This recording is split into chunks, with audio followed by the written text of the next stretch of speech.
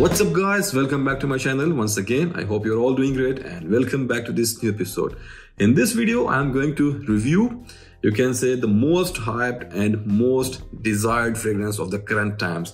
And here I'm talking about Al Haramain's Détour Noir or Détour Noir. Uh, this perfume, damn, this is in very high demand nowadays and Al Haramain is selling this fragrance like hotcakes. And you will not believe me guys that two weeks back this perfume was only available on a 60 days booking. I have checked their website and they have mentioned there that 60 days booking was required for this fragrance. Uh, today it's available it's in stock on their website. Uh, but last week two weeks back it was on 60 days booking. And last week i have visited to their store and it was not available there. And the salesperson there he told me uh, that they are selling every new batch in like maximum of two to three days. That's it. People are buying it like crazy. So we will talk about uh, Haramain Détour Noir today in this review. And then I'm going to review it with uh, Luxodor's Loyal Agar. I have already reviewed this fragrance uh, on my channel. You can uh, search it on my channel and you can have a look on the detailed review of this perfume and uh, for the details if you're interested but here today in this video I will talk about this fragrance and then I'm going to compare it with Loyal Agar and we will see which one is better. So let's start our review and as always we will start with the presentation first. So you will get this perfume in this very shiny silver kind of box. You will get the name of perfume here, Haramain Détour Noir, Détour Noir and then here on the side you will find this very sporty type of design here. The name of perfume once again uh, Détour and here Al Haramain logo of Al Haramain.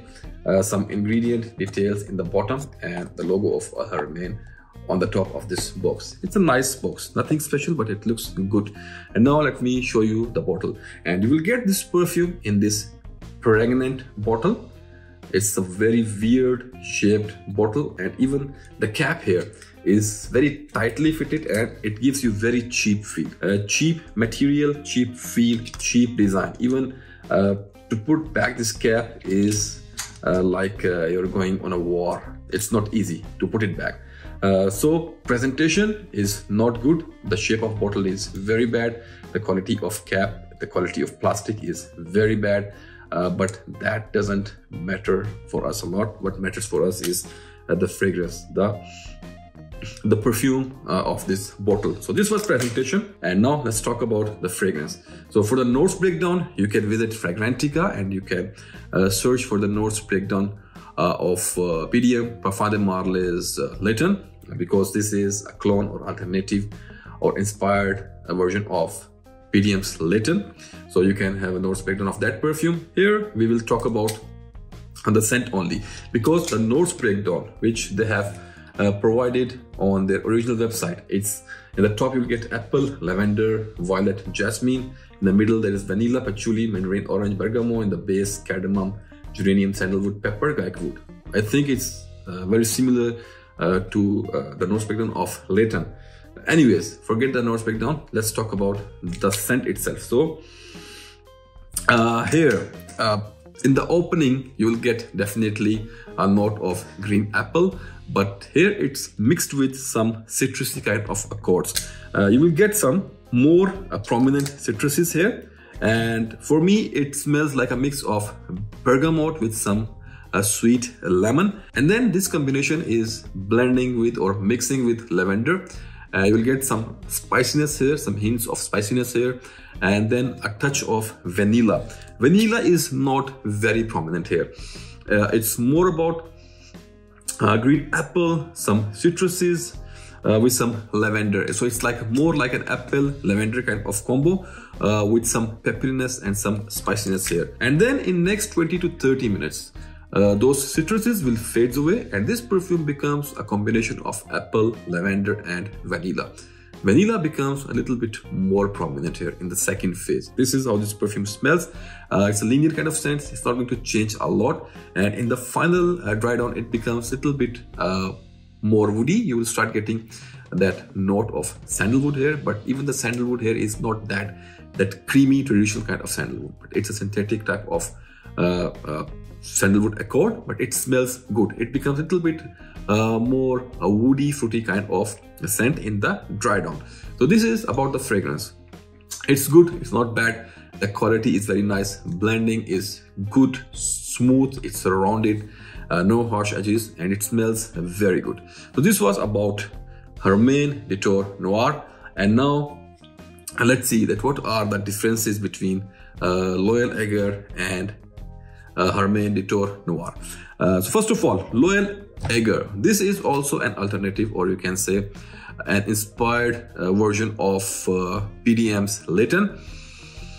Uh, you will get vanilla, apple, lavender, uh, touch of cardamom, some spices here, pepperiness and that kind of concoction you will get in this perfume. Now, what are the differences? So first of all, let's talk about Loyal Agar.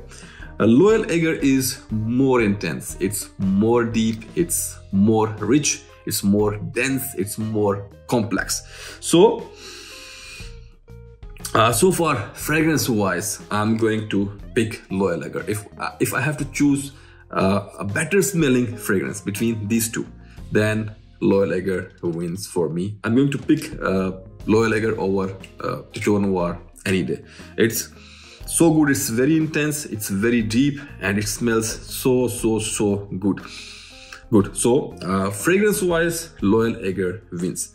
And now let's talk about that uh, which fragrance is more closer to the original Layton so in that case Detour Noir is going to win because the scent profile here is is more closer uh, to the original one. It's around, you can say, almost 90% similar to the original one.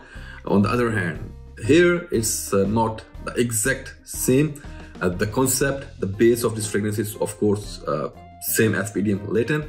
Once you will smell it from the first sniff, you will know that it's PDM Layton's uh, alternative, but this is with a twist. The vanilla here is much, much more stronger as compared to this one and it provides that beautiful sweetness to the whole concoction and it it provides that depth. It becomes more sweet more dense and more complex.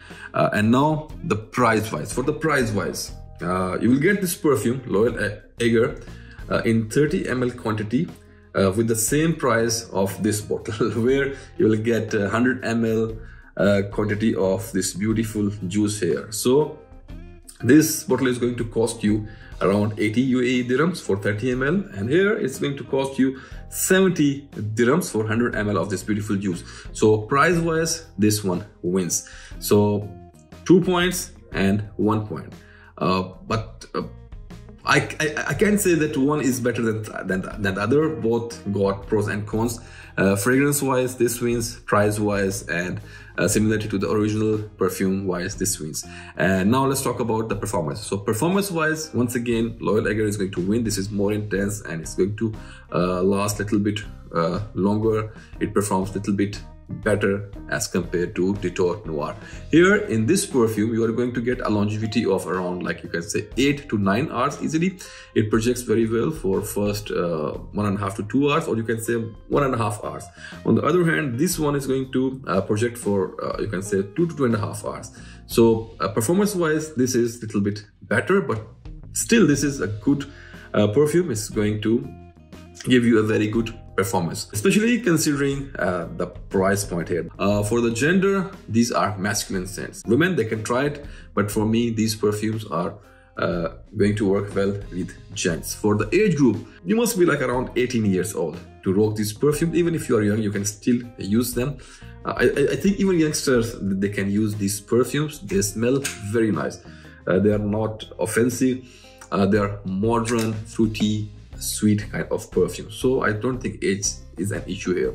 And now uh, let's talk about uh, season or weather. So yeah you must be wearing these perfumes in a little bit colder weather. In extensive heat when the temperature is 30 35 plus degrees centigrade in case of uae it can reach up to 45 to 50 degrees. Is that kind of heat these are not going to work but luckily we are living uh, in controlled environment here air conditions are always on so we can still rock it in the summers but if you're going outdoors uh, use these perfumes in a little bit colder weather. And for the occasion oh dates parties if you are going uh, to rock with your friends you are going outside in clubs in casinos birthdays parties uh, you can use these perfumes wherever you want. Uh, not a good idea to be used in gyms or in sports activities but other than that, you can rock these perfumes uh, almost everywhere. Very versatile scents.